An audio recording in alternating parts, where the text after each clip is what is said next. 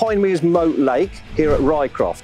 Now Rycroft is your normal type of commercial. It responds really well to pellet methods, hard pellets and expander pellets.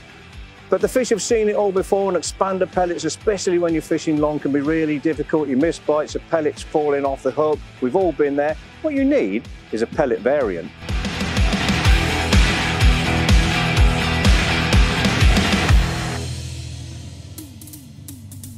By variant, what I actually mean is one of these.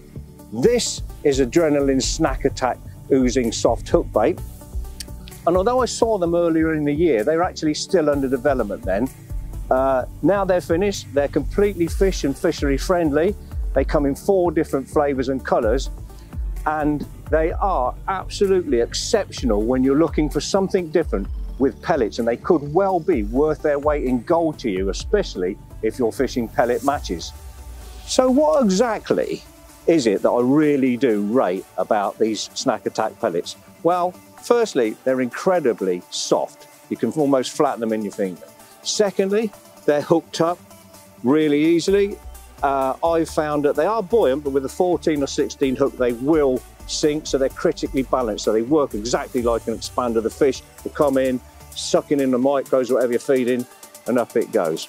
But unlike an expander, it's not coming off the hook. So you could put it on a method, you could put it on a waggler, but where there's loads of bites and you're getting liners and you're constantly lifting, it's not falling off. They're also oozing. You can actually see they're oozing with colour and flavour and the colours are really vibrant and the flavours are really strong. Now also quite fancy that you can take them out of their original flavours and put them in your own. So if you wanted some like in a salmon oil or something like that, you could quite easily do that.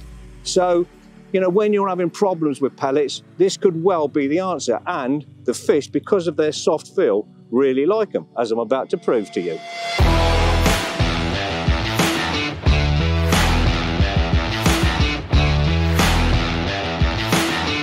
It isn't just carp that like the snack attacks. Skimmers obviously love them as well. And this one really wanted it. Snack Attacks in a nutshell. Great colours, great flavours.